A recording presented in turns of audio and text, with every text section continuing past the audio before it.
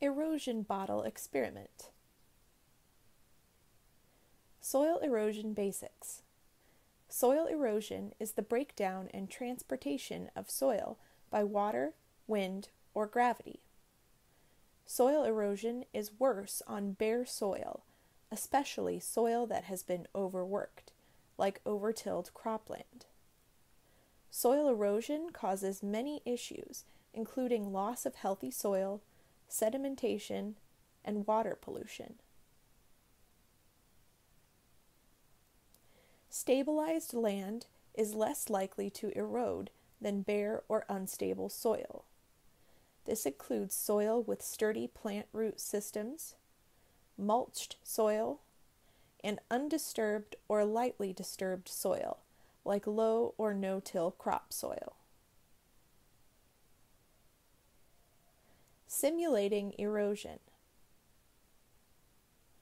With our experiment today, we're going to simulate how erosion looks across three different types of landscapes. Okay, to start off, I've got three empty pop bottles that I have cut large holes into and then glued down onto a piece of cardboard to stabilize them. And inside each of the bottles, I have a different soil sample. On the far left, I have a grassy sample. In the center, I have a sample of soil that has been mulched on top, so there is soil underneath of the mulch. And on the far right is just regular garden soil that has been tilled and worked multiple times throughout the years. Under each of these bottles, I have a cup where the water that flows out of the bottles is going to land after I start pouring, and we're going to look at the differences between the three different cups of water. So here's a closer look of what the bottles look like. You can see the grassy bottle on the left. In the center is the bottle with mulch. And on the right is the garden soil bottle. And underneath, they have these cups lined up underneath of them to catch the water. So now I'm going to start pouring my water. As I'm pouring the water, keep in mind what does the water look like? Is it clear? Does it have anything floating in it or sinking to the bottom? What color is it? Now we're going to go ahead and pour our water. We're going to start in the center with the mulch water just to make sure that it's balanced and nothing tips over.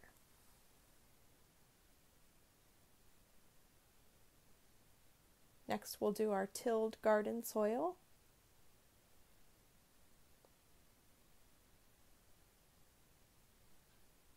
And finally, our grassy soil. Think about the colors of the soil and water. Is there anything solid in the water? Now we're just going to speed up a little bit and even out our water. Now let's take a closer look at our bottles and at our water. So this cup is from the tilled garden soil. You can see it's pretty dark there's lots of soil that came in with that water. So a lot of that soil eroded. Next, we have our mulched soil. You can see some pieces of mulch floating on the top of the water, and the water is a little bit cloudy, but it's much lighter than the tilled soil water. And finally, our grassy soil water, which is super clear and doesn't have a lot of anything in it at all. It almost looks like water you'd get out of your faucet.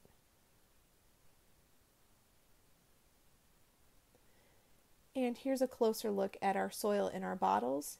You can see the tilled soil took quite a hit. A lot of it got washed away. The mulch might be a little bit shifted around, but for the most part it's still there.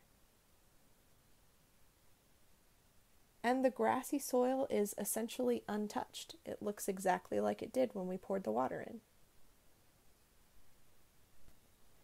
So, what happened in our experiment? The tilled garden soil on the right was washed away into the cup and eroded. It did not have roots to stabilize it, and the soil structure was damaged from disturbance like tillage.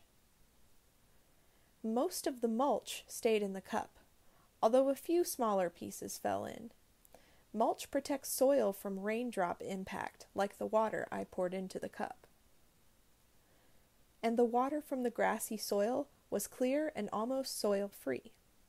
Plant roots stabilize soil and support healthy soil and soil structure. This one showed the least erosion.